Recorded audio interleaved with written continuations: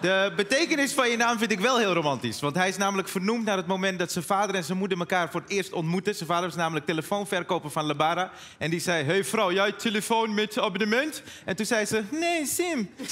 maar goed. Ehm. maar goed, Mike de Boer, Mike de fucking Boer. Je hebt echt een vreemde baard, vriend. Als Mike de Boer je pijpt, borstelt hij meteen je ballen. Tenminste, dat is wat Nessie me vertelde. De Comedy Central Roast Femke Louise met Peter Pannenkoek. Maandag 16 januari om half negen bij Comedy Central.